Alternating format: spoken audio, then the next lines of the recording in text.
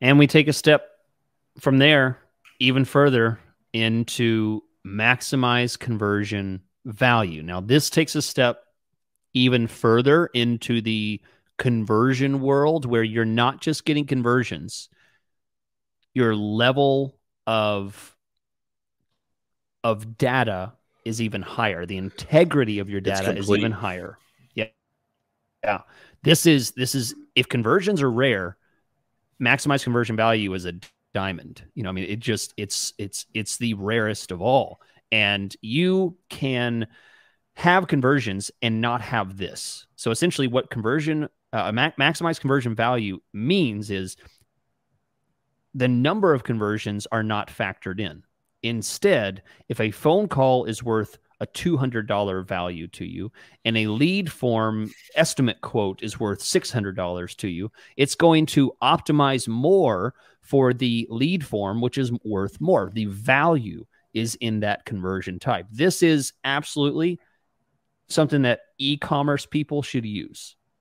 Mm. Max maximize conversion value because if you just use maximize conversions for e-commerce, um, it might sell a whole bunch of door knockers, you know, but actually what you that's an accessory to the doors that you sell. Door knocker door, door, door knockers are 50 bucks, but your doors are seven, you know, $700.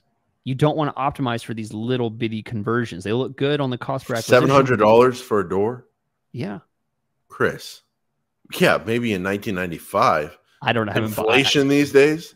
I have people that hey, Chris, buy things. Do you have people in your life that bring up inflation every time you bring up a product or service?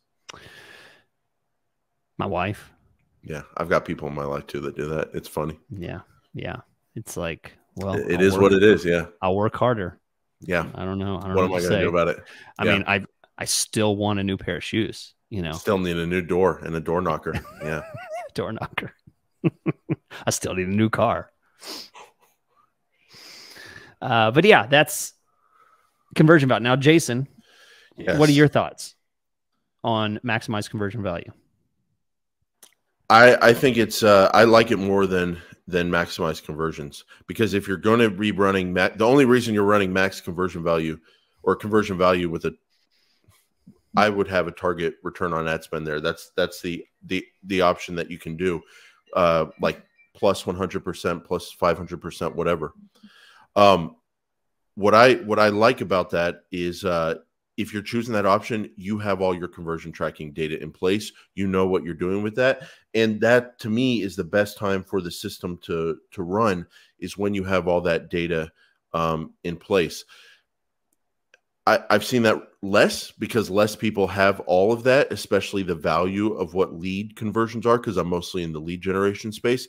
But this is what I do manually. I look at what is what is a product or service worth that we're selling revenue from it? How many leads does it take to get one of those product or services sold? Then what is my cost per lead? What is my value per lead for each lead? And then what return do i want to make when i pay a cost per lead to get that value per lead? That went over 99% of people's heads but for the one pe percent of people that are going to get that and the other 10% that are going to study and figure it out one day that's the absolute secret to google ads is that process. Yep. and that's what i do with manual bidding when all the data is in place. And so yeah i'm going to be very open to an automated strategy and seeing how that performs when everything is in place. Um and it's a it can be a beautiful strategy. And then it's just like everything with automated and manual test it. Does it work as good as manual? Maybe it does, maybe it doesn't, but you can decide. But the overall point here, Chris, is that is the diamond, the gold standard, whatever gold you want to call it, the yep. gold standard of Google Ads. That is perfect Google Ads. And so I have to be open to it. Let me let me say, let's say you are one of those companies that spends somewhere between a hundred and a billion dollars a month. And you are getting conversions um, and company A spends the same amount and they're just tracking conversions, no conversion value.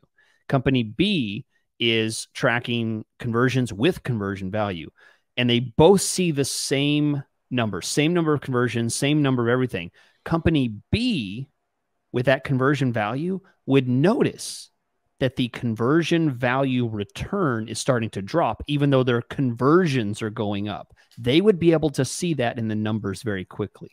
Oh, they're going to run circles around company A. Company A is going to see conversions going up and they're going to optimize for that conversion going up. And then their sales team, months down the line, will say, Something's happening. We're not closing as many, you know, or we're, we're not as profitable. The books quarter by quarter start to go down. They won't be able to spot it. That's why it's the gold standard, is because you can see things that other companies won't be able to see because it's based on value and not just raw numbers. Gold standard, 100% a lot of lead generation companies or a lot of companies out there that get leads chris service companies i should say uh, i ask them for this process they don't give me numbers. Oh we no. we really haven't done that. We really don't yeah. know. And i tell them hey ballpark's better than nothing.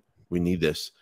They don't give it to me. And chris frank speaking frankly in business not in google ads major i'm going to get you the best results i can but in business that's an unacceptable answer uh, yeah. you have to know your numbers and uh, it can take a very uh, powerful platform like Google Ads, the most powerful form of advertising in the world, what I call performance advertising, it can take it to a level you can't even imagine.